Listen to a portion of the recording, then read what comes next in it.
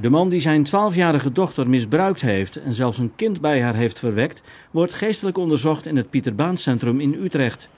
De rechtszaak tegen de man wordt daarom drie maanden uitgesteld. De zaak kwam in maart aan het licht toen het meisje onverwacht tijdens een schooluitje beviel. Al vrij snel werd duidelijk dat de 52-jarige vader zijn dochter zwanger had gemaakt. Hij is inmiddels uit het ouderlijk gezag ontzet. De man heeft in de jaren 90 een andere dochter ook seksueel misbruikt en zat daarvoor een celstraf uit.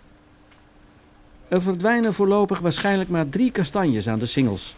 Die kastanjes staan ter discussie nadat een tak afbrak die bovenop een fietser terecht kwam die daardoor overleed. Uit onderzoek bleek dat veel kastanjes ziek waren. Maar toen men de kastanjes wilde omtrekken, mislukte dat omdat de bomen in een betere conditie bleken te zijn dan gedacht.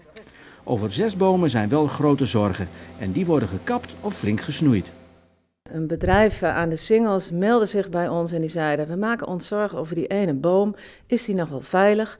Toen zijn we samen met de klankbordgroep, waar ook het actiecomité in zit, alle bomen weer bij langs geweest, geïnspecteerd.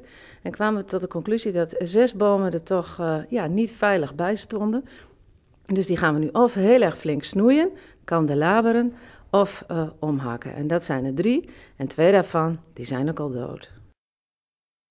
De politie heeft beelden op YouTube gezet van enkele verdachten van een roofoverval op zaterdag 25 juni vlak voor middernacht. Het gebeurde op de Stadsweg bij het speeltuintje op de hoogte van de Dragonstraat. Een 17-jarige jongen werd door vier fietsers mishandeld die geld van hem eisten. De jongen liep daardoor een gebroken sleutelbeen op. Een getuige greep in waarop de vier er vandoor gingen, waarschijnlijk met de mobiele telefoon van het slachtoffer. De politie hoopt met behulp van de beelden de daders te vinden.